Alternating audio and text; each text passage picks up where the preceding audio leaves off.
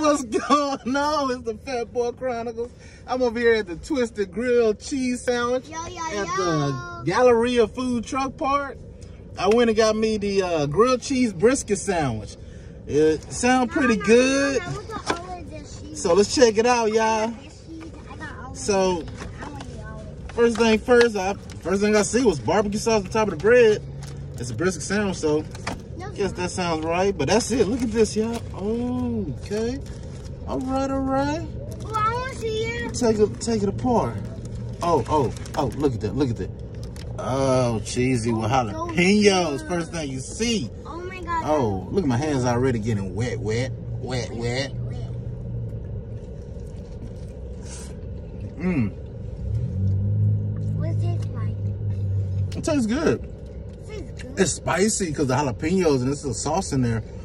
The brisket is real good. It's smoked. I taste the, the flavor, smoky flavor out of it. It's really cheesy.